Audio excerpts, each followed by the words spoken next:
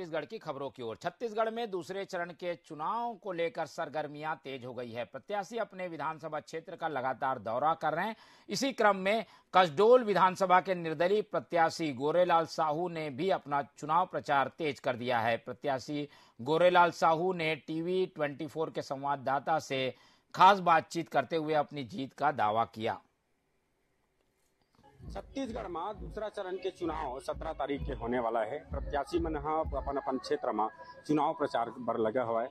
हमन अभी कसडोल विधानसभा क्षेत्र में हन और कसडोल विधानसभा क्षेत्र ले कांग्रेस ले टिकट नहीं मिले के बाद गोरेलाल साहू हर निर्दलीय प्रत्याशी के रूप में अपन चुनाव प्रचार करत हवय आप देख सकत हो कि गोरेलाल साहू जन है लगातार क्षेत्र में प्रचार प्रसार करत हवय लगातार आप जिन है क्षेत्र में प्रचार करत हो। हाँ। कतका जन समर्थन आप ला मिल पात? बहुत बहुत। सब गाँव से जनसंपर्क हुआ थे जब के सहयोग हुआ थे सबके समर्थन मिलत है और काम अच्छा है और जनता मुंड बना ले है केदारी निर्दलीय प्रत्याशी गोरेलाल साहू ला करडोल विधानसभा से जिताना है ऐसे करके।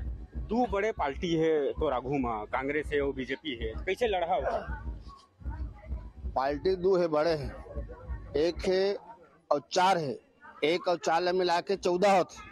और चौदह नंबर के बटन है सब ला बहुत भारी पड़े ता ये जिन भ्रष्टाचार के जिन आग आगे लगे है एसी है का वाला ठंडक दे में सफल पूरा पूरा। एक नंबर और चार नंबर ला ठंडा करके बैठा दे पूरा। ये आपके प्रचार में जिन्हें भारी दल बल दिखा था भाई एला लेके का कहे?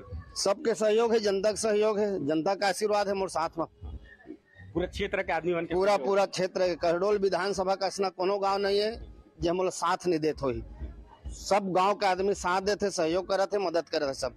अच्छा अभी तक जिन है कसडोल विधानसभा क्षेत्र की बात करन तक कतेकन क्षेत्र ले जिन आप ढूंढ रहे हो? कतेकन बचा है का स्थिति है? कुछ जब काय क्षेत्र बहुत लंबा है। तीन सौ सड़सठ गाँव है चार सौ दो पोलिंग बूथ है तीन लाख पैंसठ हज़ार मतदाता है वह जेमा कुछ कुछ गाँव छूट गए है जेमा मोर भाई है मोर लड़का है अमन जात है मिला थे सबके प्रणाम करा थे सबके आशीर्वाद लेते अच्छा ये कतेक आप अस्वस्थ हो जीत ले लेके? बहुत बहुत सौ परसेंट गारंटी है जीत की।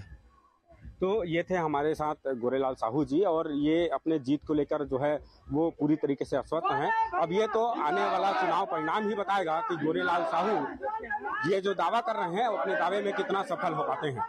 टीवी 24 के लिए चतुर्मूर्ति वर्मा बलौदा बाज़ार।